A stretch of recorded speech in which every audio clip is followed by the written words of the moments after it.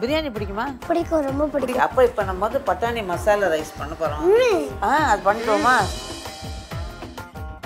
So இப்போ இது ready ஆன உடனே நம்ம சாப்பிட்டுக்கலாம். பட் எப்படி இருக்கு? ஆ?